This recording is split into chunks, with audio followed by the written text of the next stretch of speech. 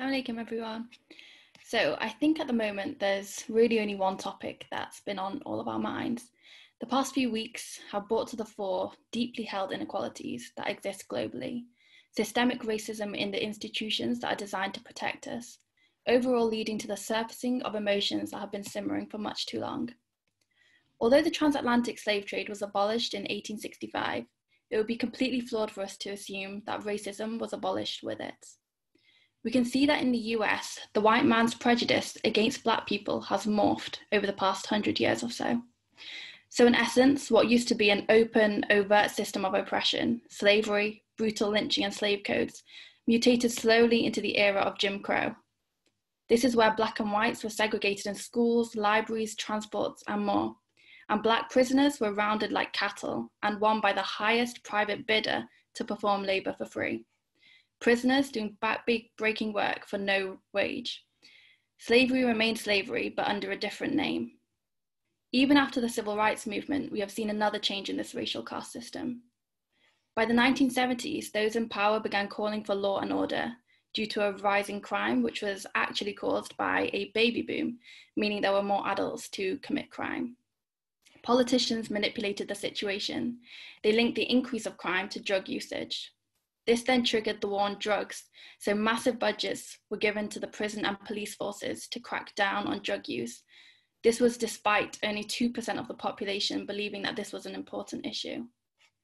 Despite drug use being proven to be higher amongst white communities, such as the student population and the middle class, uh, rather than black communities, perversely, the war on drugs concentrated on crack cocaine use, which targeted the poor Black communities, leading to the mass incarceration of over a quarter of African American men. The Human Rights Watch even reported that in 2000, African Americans made up 80 to 90% of drug offenders, but this isn't because they are more likely to take drugs. Many of these people are in jail for long sentences. They're denied parole, they're on first time offences, they were caught for small crack cocaine offences and forced to make plea bargains, which are all legal changes to keep the black man in jail. And this all occurs whilst the drug cartels evade any conviction. So, this is the new covert and haunting reality for black people in America. And George Floyd is the most recent case of police, police lynching. Countless African Americans, as well as British black people, have lost their lives to the institutions who are meant to guarantee their safety. Amongst this endless list are the 32 year olds Philando Castile, 18 year old Michael Brown, 17 year old Trayvon Martin, and 40 year old Sean Rigg. And so now the anger is palpable. The marches and demonstrations culminated in tearing down the statue of Ed- Edward Colston in Bristol. So, this is a man who had a prominent role in the Royal African Company, which is one of the largest slave trades at the time. British merchants were the second largest traffickers in the transatlantic slave trade. They transported over 3.4 million Africans to North America simply to meet the rising demands for sugar, cotton, and tobacco back at home. The horrors of the British Empire, their prominent role in the slave trade, colonialism, and imperialism are stains on our history, and our curriculum must be inclusive of this. However, I feel as though some of the responses in the Muslim community during this time have been, well, Islam forbids racism, look at the Prophet, peace be upon him's farewell sermon, and the position of Bilal, may Allah be pleased with him. However, a little introspection suggests that firstly, our organisations and mosques are not always inclusive to our Black brothers and sisters. Secondly, diversity at leadership levels is shockingly absent, whether this be women, Black people, those with disabilities, amongst many other groups and people. We often fail to recognise the role the Muslim empire played in the slave trade, such as in the Abbasid period. Some Muslims also on social media are posting all lives matter. This just isn't the time. There's a time and a place for everything, and this only displaces the empathy from the Black community at a time when we should be really vocally supportive. Here we could reflect on Surah Nisa, verse, one, verse 135, where it states, O you who believe, be persistently standing firm in justice, witnessing for Allah, even if it be against yourselves, parents, or relatives. Finally, in, converge- in conversation with many girls in my community, it's often said that the cultural beauty standard promotes the look of lighter skin. Just look at all the skin lightening products and Bollywood actresses, it's enough to cause a real complex. The pressure is real and the colorism does exist. So now is the time for working and educating ourselves aiding our, brother, our brothers and sisters in our communities. In the Quran, it states in Surah 49, verse 13, O mankind, indeed we have created you from male and female, and made you people and tribes that you may know one another. Indeed, the most noble of you in the sight of Allah is the most righteous of you. So Allah does not judge us by the tone of our skin, our features, or our gender. He judges us by what's in our hearts and the actions we perform. And so, with this in mind, let us make this a time of heart and positive action. Thank you. Thank you very much. Uh, for that. Let me just uh, share my screen to make sure it works. Right, um, there we go. I press play, right. Okay, is that working? Yes, all right. Um, okay, inshallah. Um, Bismillah ar-Rahman ar-Rahim. الحمد لله رب العالمين والصلاة والسلام على رسوله الكريم وعلى آله وصحبه أجمعين uh, اللهم أنفعني بما علمتني وعلمني ما ينفعني وزدني علما رب اشرح لي صدري ويسر لي أمري واحلل عقدة من لساني يفقه قولي So we are carrying on today with the story of uh, Hadith uh, and Dr. Rizwan uh, started it off last week and this is just a presentation that I've adapted from a couple of years ago. So I'm going to skip through the first few uh, well, probably the first 30 slides, but some of it is a reminder uh, of uh, what we covered um, last time. And so essentially the aim of, uh, the overall aim is to be religiously literate, to be uh, Islamically you know, literate in the sciences of, of this deen. Um, and, you know, there's a, there's a funny story. I remember um, hearing it from uh, uh, Sheikh Hamza Yusuf in one of his videos of, uh, of a, uh, a theologian who was a gardener, and he was in his um, garden, and a neighbor came and they had a chat over the fence, and uh, they were introducing themselves, and the neighbor said, "What do you do?" And the theologian said, I, am a, I'm a theologian," and the, the neighbor said, "Well, I'm an atheist." And uh, so the theologian thought, okay, uh, have you read St. Augustine? Neighbor said, no. He said, oh, have you read St. Thomas Aquinas? And he said, no. And, and he thought, well, what about uh, you know, Meister, uh, uh, Meister Eckhart or Julian of Norwich? And he said, no, I haven't read them either. He thought, well, maybe he's read, uh, you know, the works of other, you know, religious philosophers. Have you read Avicenna, Averroes, you know, um, Al Ghazali, Maimonides, and he said, no, I haven't read that. Maybe he's read something more modern. So he said, have you read, you know, Maritain, Jacques Maritain, or William Lane Craig, or Peter Kreeft? And the neighbor said, no, I haven't read that either. And so at which point the theologian said, sir, you are, you're not an atheist, you are an ignoramus. Uh, a bit harsh, but essentially uh, the point is to be religiously literate. Uh, Sheikh Yasir Qadhi said, look, if you're not, if you can't be a scholar, then at least don't be a jahil, don't be ignorant. So this is the purpose of the of the things that we're doing today. Um, starting off, obviously, I'm going to run through some of these slides which you know already. Uh, the authority of the Sunnah uh, from the Quran, and we covered this last week. Uh, that uh, the, the importance of the Sunnah, uh, and uh, we covered this also from the Hadith. this is from from the um, what the Imam Malik, uh, the Messenger of Allah وسلم, said, I have left you with two matters which if you which you will never lead you astray as long as you hold fast to them, the book of Allah and the Sunnah of the Prophet.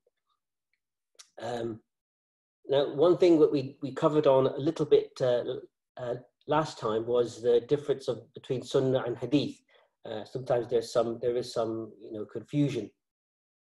Um, so this I have stolen this uh, from uh, a recent presentation uh, from by Dr. Mariam Sheibani. She did it in Ramadan from the Cambridge Muslim College.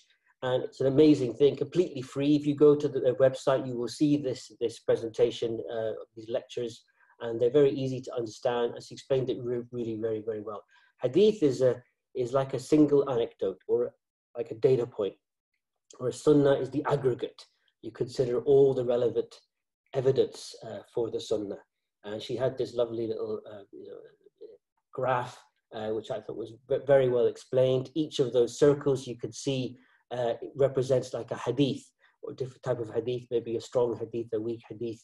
Uh, and uh, and the circle represents the sunnah. It considers all the relevant evidence. Maybe the grey ones are the or the, the, the very weak hadith that lie outside of that, not considered. So uh, we also covered this a little bit last time. How can we know the Sunnah? Well, the, the main body of the body of Hadith is the main source of the Sunnah. Uh, what are the? Uh, but there are other sources of the Sunnah, in particular the practice of the early Muslim communities, especially in Medina. Certainly, that's the case for the school of, of Imam Malik. Uh, and this, of course, you should know what is a hadith, uh, statement, action, consent uh, of the Prophet wasallam. And every hadith has two parts. It has a sanad and a matan. Uh, I think you know this as well.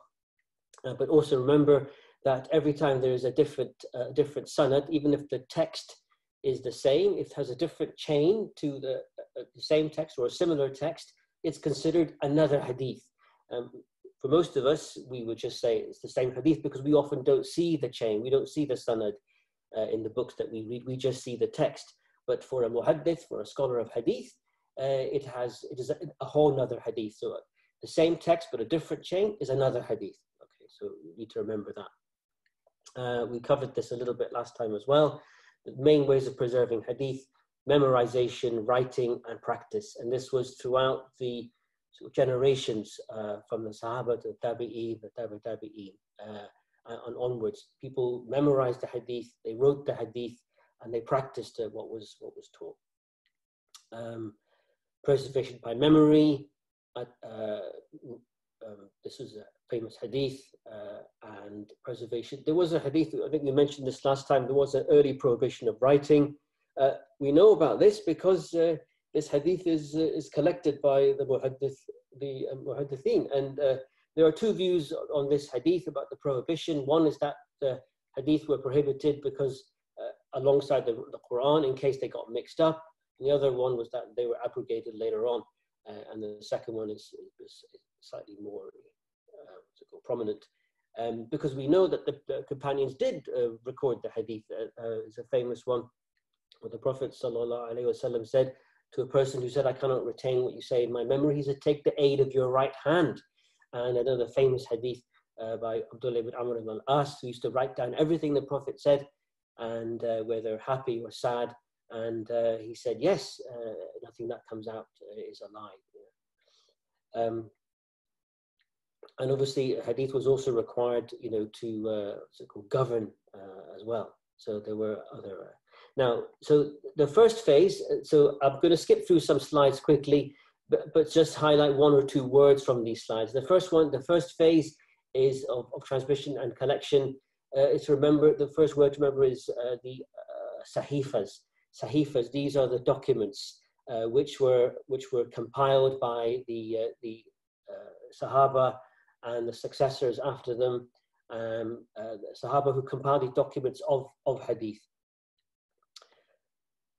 Uh, um, I have a question.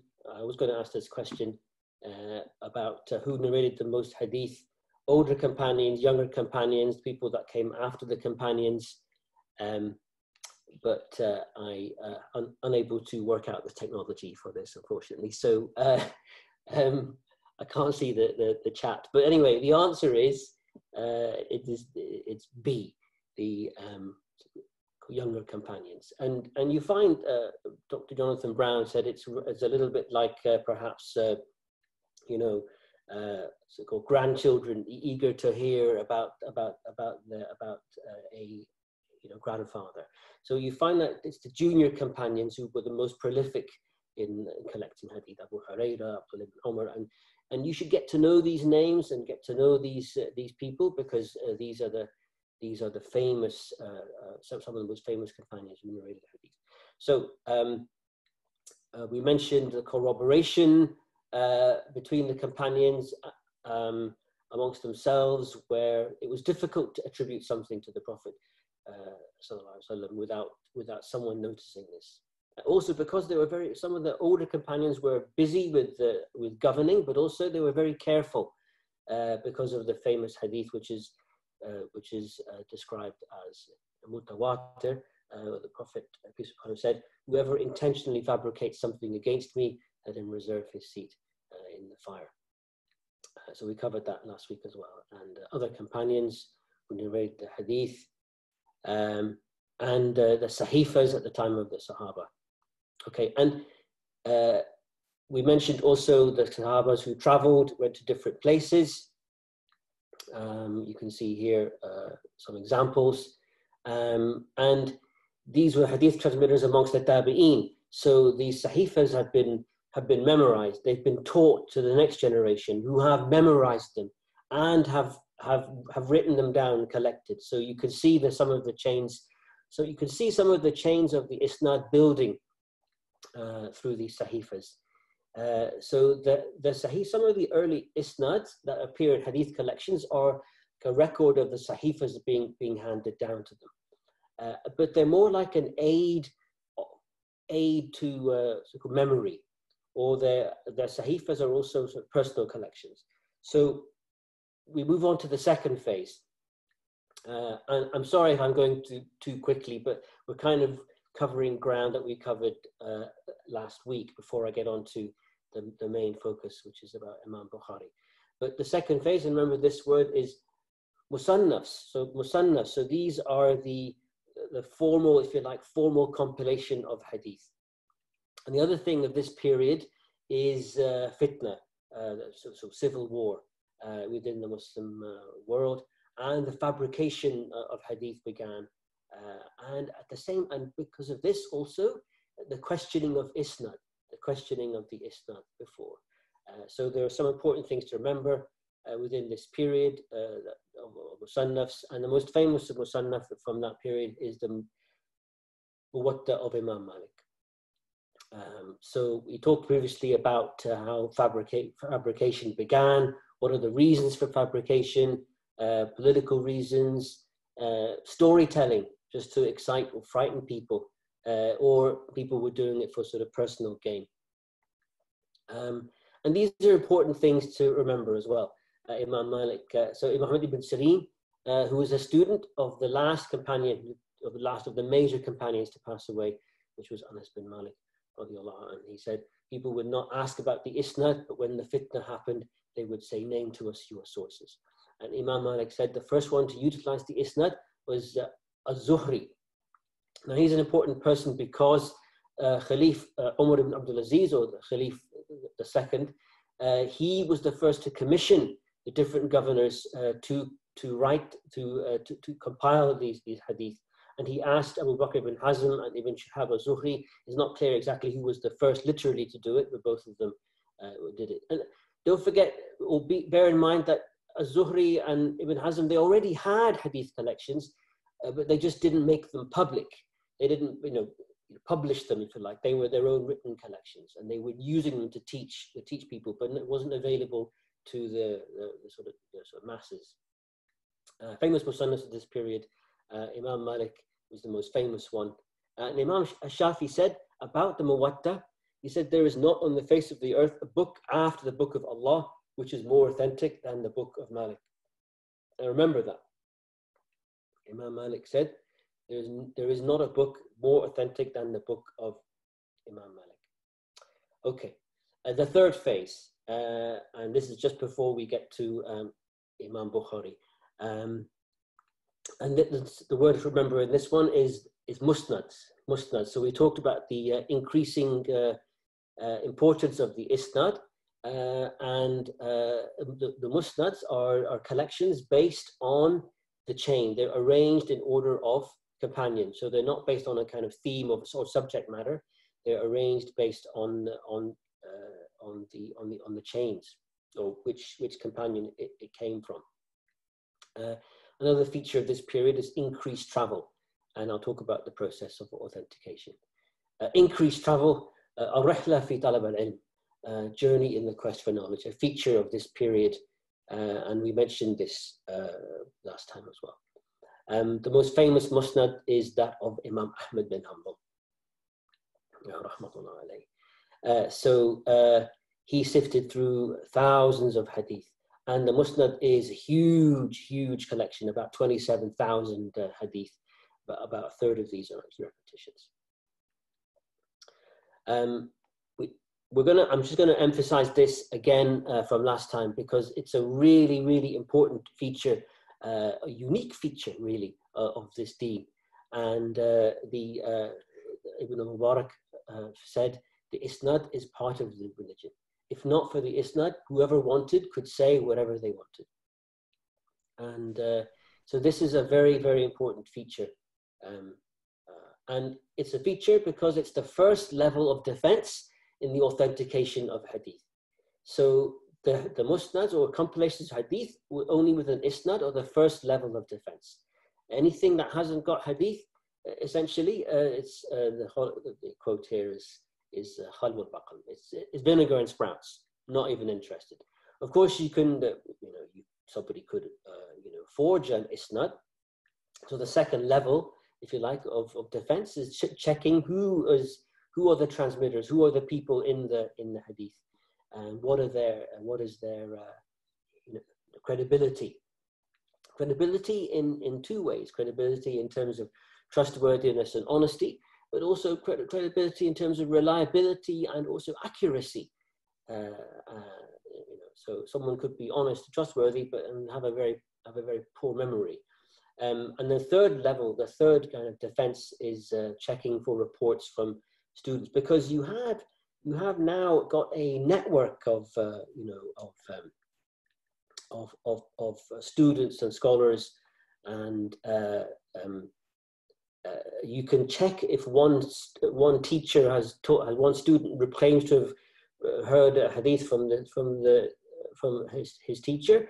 You say well who else heard the same hadith? So you can cross check anyway so uh, so we get to the point here where i'm about to introduce to you um, the famous uh, the, the famous imam bukhari some points to note about where we are at this point combination of memorization and hadith collections.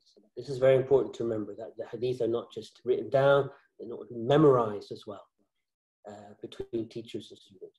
Increased travel for knowledge because we have you have uh, you know networks of people uh, of teachers and students around the uh, the uh, Muslim world.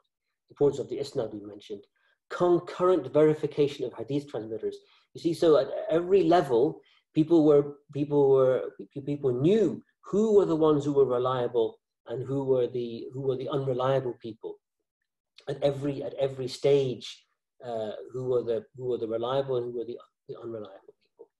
And uh, as the the the musnads represent the vast hadith collections amongst the scholars, you know, where they have uh, mixtures of hadith of uh, some ranging from weak to to uh, what would be called sahih or what is called sahih uh, it within. Uh, but at the same time, in this period, amongst the masses, uh, you also have, although the scholars have been have done their job in one way of of having these collections, these you know musnads, and they know the they know who the reliable and unreliable people are.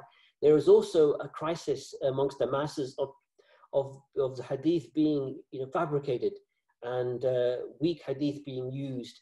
And um, uh, people, people like to be entertained, you know, to be fair. Uh, and some, some of the fabricated hadith that you will laugh when you hear them because they're so got some strange, you know, far-fetched stories and things. Uh, but some of them invented by, you know, what's called charlatans. Um, but there was a need a need to do something which had not been done before. Uh, and this was this was a very important step uh, which uh, uh had not been done before. Um, so um,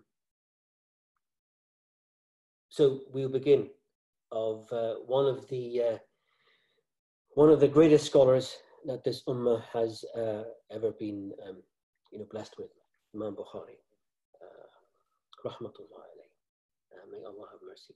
Uh, one of the you know, the thing about his intelligence, his knowledge, his memory, his ability, as well as his piety, honesty, and integrity, the more you read, the more impressed you will be, and uh, I won't be able to do justice uh, to to his life.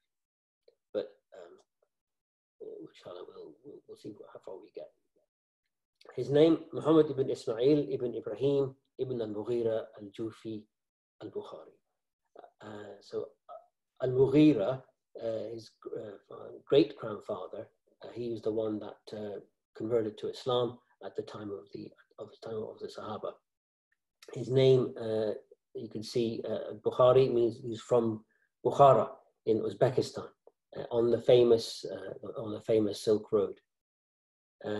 Now, his father was a, uh, before I mention that, um, it's interesting that uh, all the authors of the Sahih Sitta uh, were the, the, famous, you know, canonical six, six hadith collections, uh, were from Central Asia or Iran. Not, uh, they're not Arab. Very interesting uh, to, to, note this. Now, his father was a himself a kind of, you know, a, uh, minor muhaddith, uh, once was also a student of Imam Malik in Medina.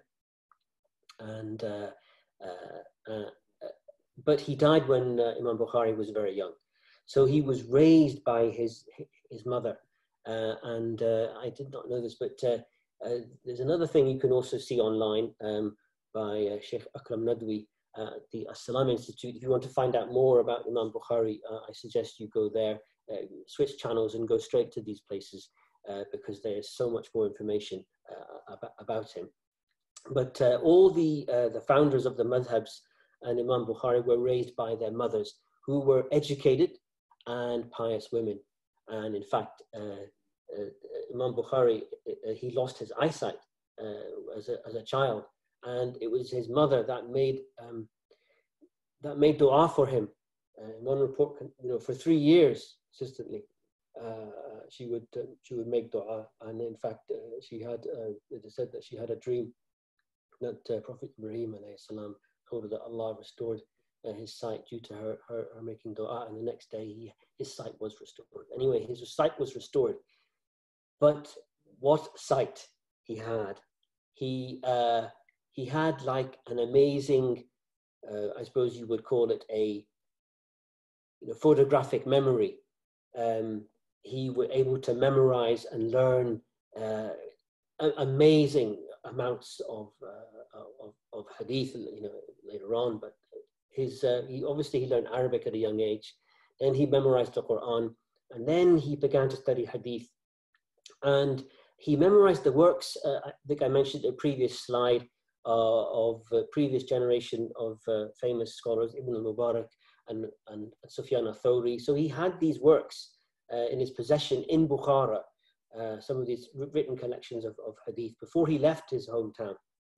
And there's a famous story where he corrected his, his own teacher.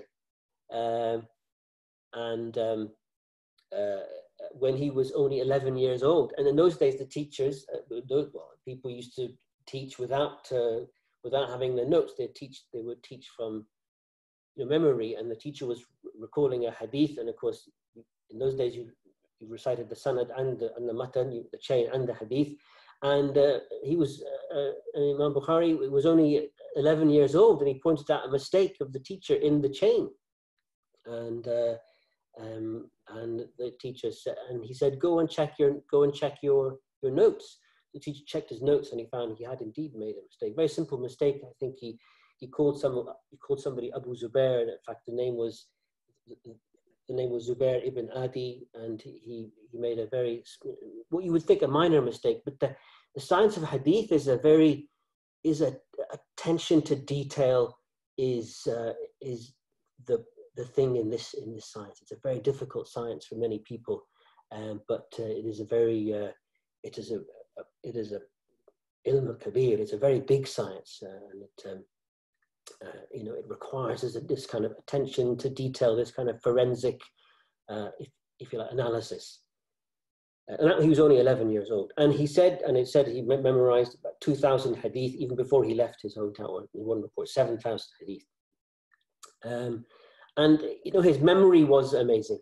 And there is a, another famous story uh, when later on when he became famous when he he was traveling he came back to Baghdad and uh, uh the, the, famous hadith test uh, and uh, you might have heard of it already and uh, he came to Baghdad he'd already established some kind of you know, reputation and um, the um, the, um, the people of Baghdad 10 scholars came to meet him and uh, they brought with them 10 hadith, but they mixed up the uh, chains uh, with, the, with the matan. They mixed up the, the text and had the wrong chain attached to the wrong hadith. So 10 people came, each one with 10 hadith, 100 hadith, uh, but with mixed up chains. And they presented it to Imam Bukhari. And each one, uh, Imam Bukhari would say, I don't recognize this hadith. Obviously, he knew the hadith in terms of the text, but he didn't know the, the chain because um, because it was the wrong chain. And uh, each one he said, I don't know this hadith. I don't know this hadith.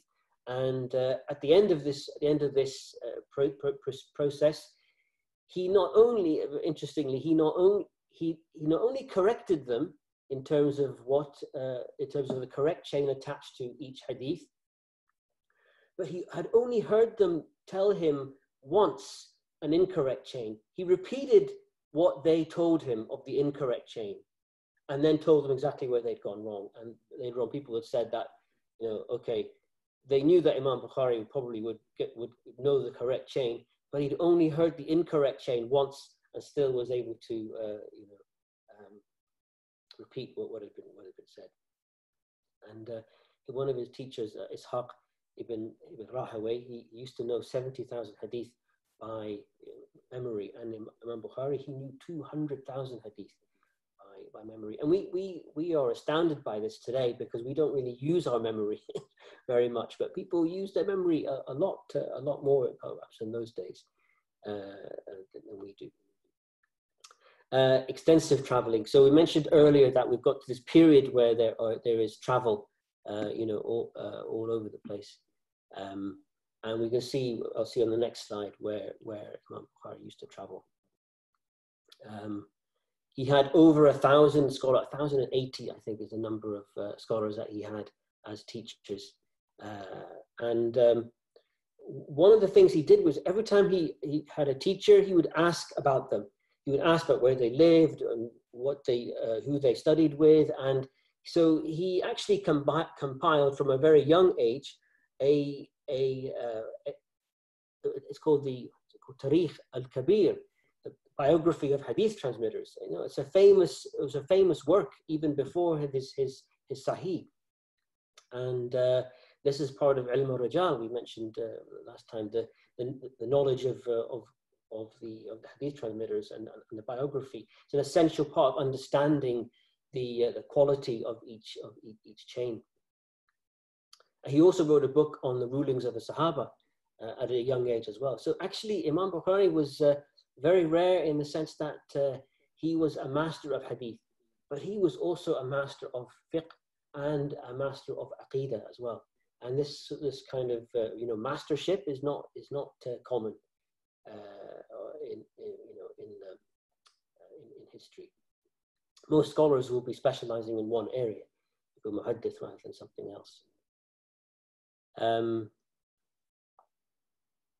okay, uh, and uh, other thing is, okay, there's so many stories about his integrity and his piety uh, that uh, I won't be able to cover, you know, um, all of them. There is one story um, of a story of, you probably have heard of it. Uh, Imam Bukhari was on a ship. Uh, he had some business and uh, he was um, uh, on a ship. He's carrying a, a, thousand dinars. I think it was a lot of money, a thousand dinars, equivalent to maybe 200,000 pounds, you know, today, there was some business he had to do, had to attend to. And uh, there was a, a kind of a con man on this ship who, who, got to know him and got friendly with him and found out he was carrying this money.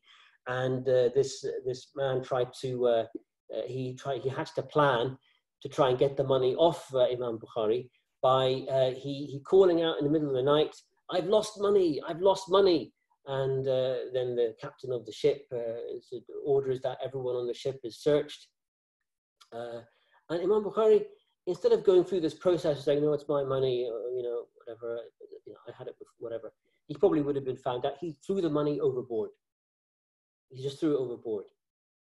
And so the money wasn't found. Later on, uh, this uh, con man was, where did you, what did you do with the money? I know you had the money. What happened to it? And Imam Bukhari said, uh, he said, uh, uh, I threw it away. And the man couldn't believe, why did you throw it away? You can't use it. I can't use it. Nobody can use it. And Imam Bukhari said, I have spent a lifetime collecting hadith. And people have relied upon me and trusted me. So how can I subject myself to an accusation of theft? And he was protecting his reputation so that the hadith of the Prophet وسلم, would not be tarnished. And, he's, and that is worth far more than this thousand dinar. Uh, you can see here uh, his travels uh, from Bukhara to uh, Nishapur. Uh, the first one, when he went uh, for, um, for Hajj, he went at the age of Hajj at 16. And when he went at the age of Hajj with his mother and his brother, he got to Mecca and he requested permission to stay in Mecca and to learn. And that's like going to going to university uh, there were so many scholars he was able to learn from uh, from there. And from there, he went to Medina, and that's when he wrote some of the early works, his Tarikh and, uh, and the, the, the, rulings of the Sahaba. And he, uh, he met many teachers along the way, uh, I said a thousand teachers. Um, and you, you can see here that some of the examples of teachers, and these people, this, these names, the most famous of them is Imam Ahmad bin Hanbal, but the other ones, they are, it's like a who's who of uh, the top, uh, you know, the top scholars of the time. Uh, uh and and it's the first one actually, uh, Ishaq ibn ibn Rahaway, uh, or, or pronounced Rahui as well in some in some places, uh, who gave the idea of of a collection of, of, the Sahih. So um, we'll move on to his the, what he's most famous for, which is the Sahih al Bukhari. And the title of this is uh, is itself very very revealing. Uh, uh, so the full title, and this is the title from um, Ibn as-Salah, uh, who is a hadith scholar, and people will see different titles. The other one is titled uh, with the version by um, Ibn Hajar, but this one, Ibn Salah. So it's called Jami al Musnad al Sahih al Mukhtasar min Amur Rasulullah Sallallahu wa Ayami. Uh, so al Jami means it is a comprehensive collection of hadith, comprehensive range of subjects of aqidah, legal rulings, and so many different aspects. And in fact, nobody had written previously a, a, a Jami until, until Sahih Bukhari. And it says al musnad. Al musnad means that all the hadith had their corresponding chains of narration included in, in the sahih. It is as sahih, meaning that uh, it fulfilled all the conditions of authenticity. And uh, we'll see in a minute that uh, Imam Bukhari had very stringent conditions of authenticity, far more than any of the other uh, any other other people who collected. Uh, it says al-mukhtasar, meaning it is a, it's like, it feels like condensed it, uh, condensed. So it means that he didn't mention every single authentic hadith in this collection. Uh, so it's jami in scope, but mukhtasar meaning uh, I don't plan to include every every sahih hadith in the whole world. Uh, min amur Rasulullah ayamihi. So from the uh, uh, if you like, from the life and times of, of the Prophet it's not just the things he said, but know, biographical accounts, what happened, uh, you know, military episodes and things like this. The idea of the Sahih collection, so we mentioned before that there was this, uh, if you like, a kind of a, uh, um, uh, crisis in some ways, but the Hadith collections were, were vast and it was, uh, it was even Ishaq, his teacher, who mentioned uh, to him, Ibn Ishaq Rahaway mentioned to his students that the need for the compilation containing only Sahih Hadith, because these were huge volumes, and uh, there was difficulty for people other than Hadith scholars to actually benefit from, from books of Hadith. And uh, uh, Imam Bukhari actually had had a, he had a dream in which he was standing with the Prophet وسلم, and he was fanning away flies uh, from the Prophet. And, uh, he went to a person who asked him what it meant, and uh, the person replied that he would be he would be one who repels lies away from the Prophet. Anyway, he heard this. He heard this uh, from uh, Ibn Ishaq. Ibn Ishaq, I understand he died very young.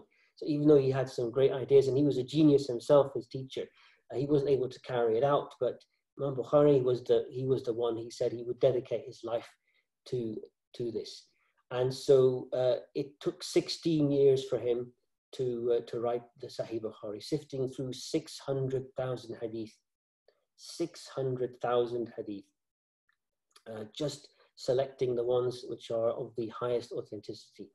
Uh, and he made ghusl and prayed two rakat before adding any hadith.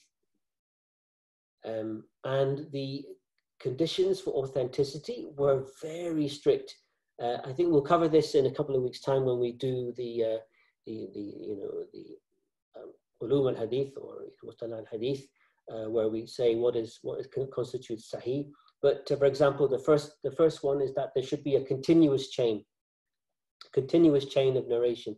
But it, um, it was not enough, uh, uh, and then each each each narrator in the chain is also checked for credibility. But it was not enough for Imam Bukhari that, uh, for example, it was known that one that one teacher had met this student, uh, one teacher had uh, you know lived in the same place and time as a student.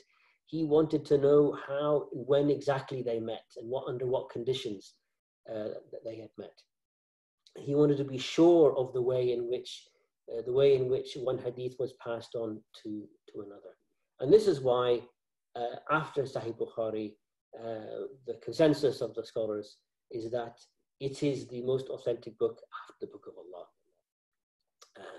Uh, so um, this is, uh, I remember we said this is what was said earlier about uh, the Muwatta of Imam Malik. Uh, but this is people said this now about about Sahih Bukhari. Um, has approximately seven and a half thousand hadith but about 2,700 if you exclude exclude the um, repetitions. Has a very unique structure, uh, um, and I think really uh, to understand it fully, you have to know something about something about the, the science of hadith.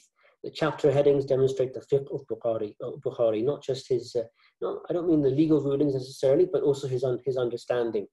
Uh, um, but uh, um, it, it's sometimes difficult to find hadith because he's got in, in, different places. The very first hadith, actually, I think I might have it in the next slide.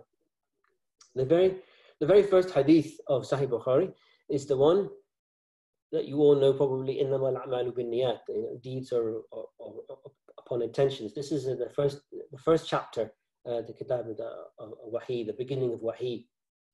Uh, so you can see that, uh, a lot of times the English the English translations they don't have the they don't have the chain, but the Arabic you could see you could see the chain. And even though this hadith, you would ask, what's it got to do? What's it got to do with how revelation began? Because the next hadith is about how revelation began, how he received revel, how he received wahi, how the Prophet received wahi.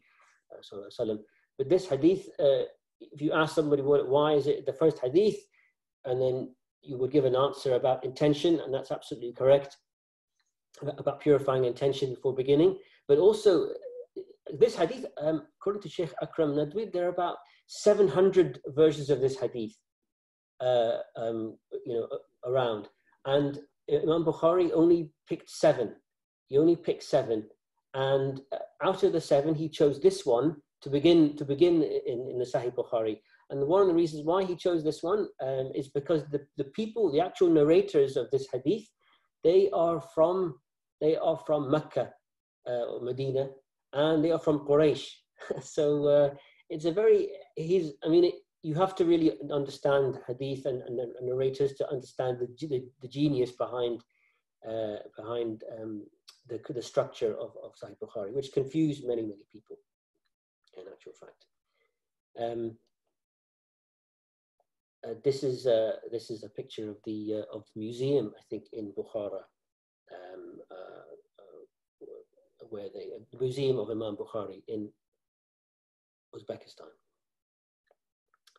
Uh, so that's why it is the most authentic book after the Book of Allah. Uh, now, um, he he had um, he taught. He spent 16 years compiling it, and he spent the next 24 years teaching people this the Sahih Bukhari. And uh, some of the people he taught were also famous muhaddith later on. Uh, Imam Muslim was one of his students, and uh, uh we will talk about Imam Muslim now. So. Um, his his collection of uh, of of of Sahih uh, hadith uh, is considered the second most authentic collection after Sahih Bukhari, and um, he, because he was you could see from the year he's about 10 maybe 10 15 years younger than Imam Bukhari, and he travelled. He was from Nishapur or Naisaburi uh, in Khorasan, part of Iran today. He travelled like people had to travel to gain knowledge. Uh, unlike today, people just sit at home to get knowledge. uh, you have to travel to gain knowledge. But he didn't travel as much as Imam Bukhari. And also because he was younger, he actually missed out, uh, I understand he missed out two generations of, uh, of, of, of um, scholars who passed away by that, by that time. Uh, um, but uh, this is also a very stringent level of, of collection of hadith uh, but perhaps not as stringent as, Sahih, as Imam Bukhari. So, for example, I said mentioned earlier, one of the conditions was about the uh, was the connection uh, between teacher and student in the chain. Uh, Imam Muslim felt it was it was very difficult. That was a very very stringent condition. Condition. It was enough. It was enough that uh, a person had lived in the same place and time as the, as the student, um, and you only had to question how when it was people that were maybe not quite as uh, you know reliable or accurate in in the, in the transmissions. But it's actually a, a slightly easier, uh, if you like, book uh, to, to read. Uh, it contains an introduction, uh, and um, uh, which explains, whereas Bukhari doesn't contain an introduction. And he has all the hadith, all the different chains of narration in, in one place. And uh, so in some respects, uh, Sahih Muslim was, uh, was, was actually favored by probably like a minority of, of, of people. Um, but when the two had, when the two and a hadith is found in, in both collections, then they are called they are they are alayh. They are, they are agreed upon. Agreed upon agreed upon between Sahih Muslim and in, in Sahih Bukhari. And what in actual fact, Sahih, you can you could probably say Sahih is like, is like three levels of Sahih. There's the Sahih in Sahih Muslim and Sahih Bukhari. We've had they had very stringent conditions, and then another level is uh, in Abu Dawood and, and, Tirmidhi, and then a third level, if you like, is Ibn Hibban and, and, and, and Hakim. So that's uh, you know you, that could be a way of of of, uh, of you know describing the Sahih. So what was the reception? What was the reception to uh, what happened. So initially, you know, in retrospect, you could look at what we had earlier. We had we had the sahifas, we had the musannafs, and we had the musnads. So we have these sahifas, these personal documents. We had the musannafs, more formal compilations. Uh, then we had the musnads, these huge uh, of compilations of hadith based on isnad. Um, and you could probably see retrospect from history that the Sahih and the Sunan collections uh, were um, a like a natural progression. But they were some people they, they were, some hadith scholars rejected this approach some of them felt that it was only being done for gain others had disagreement with the judgments concerning the reliability of, of some of the people and, uh, and, and for some other people there was a kind of a kind of finality uh, that disturbed some some uh, you know hadith scholars um, um, but uh, the um, the response of Imam Bukhari and Muslim was that well they did not include all Sahih hadiths in circulation. Uh, um, he, uh, and Imam Muslim said he limited his books to hadiths whose authenticity he believed was agreed upon, you know, by all. But as Imam Muslim explained, it is the duty of those who understand the science of hadith to leave the common folk with trustworthy reports only. It was responding essentially to the needs of the time. And sometimes it's only years later that people can really appreciate the work uh, that, that has been done. And uh, hadith collection continued after uh, Imam Bukhari and Muslim. And there, were, there, there was the type of hadith collection which uh, resulted in the, in the, famous, uh, the famous collections. But there's a really interesting story of, uh, you know, almost 100 years later, an Egyptian scholar, Ibn as-Sakan, I think, was asked to, there were so many books of hadith at this point, which ones should, should students focus on? And then he went, and some people approached him and asked him, uh, and uh, he went into his house and he came back with four, he, he, he picked up or, you know, four collections. He said Bukhari, Muslim, Abu Dawood, and, and Nasai. These four. Focus on these four. Um, and uh, so you see that uh, the four eventually became the five, the five became the six, this, and the Sahihain became the common language for uh, you know, evaluating the authenticity of hadith in these inter, inter madhab debates. But these hadith, they combine utility and, and um, uh, authenticity.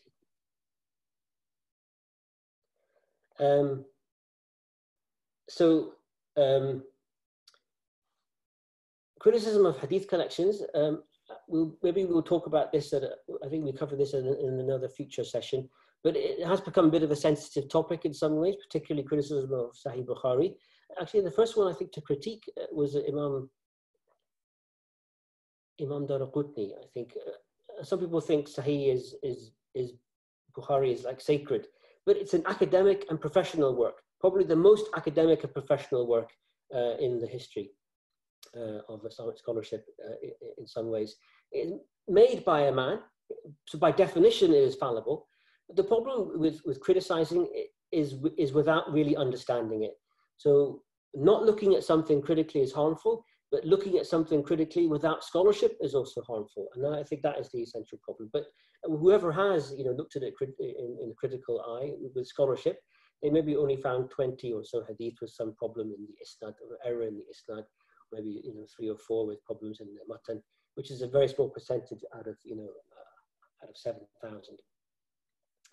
And uh, and uh, finally, you must remember that uh, you know books like Sahih Muslim and Sahih Bukhari were not written for the for the general public in a way, uh, or even uh, it was meant to read be read with proper training and you know understanding. And all of what we mentioned so far regarding authenticity is just the first step to understanding the hadith. The next step is interpreting the meaning of that hadith and its application in life. And remember, a single hadith is like a, is like a, is like a single anecdote or a data point, whereas the sunnah is the aggregate. A scholar would consider all relevant hadith on a, on a particular subject. But the work of Imam Bukhari and Imam Muslim was an amazing achievement uh, for the, the Muslim Ummah. Um, rahmatullah alayhim. So uh, I hope this has been of, uh, of some benefit. And uh, I pray that we all increase our knowledge in these amazing uh, sciences of Islam and that we, we benefit from the knowledge that we have gained. And uh, any, any mistakes are mine. وآخر دعوانا والحمد لله رب العالمين سبحانك اللهم وبحمدك أشهد أن لا إله إلا أنت وأستغفرك وأتوب إليك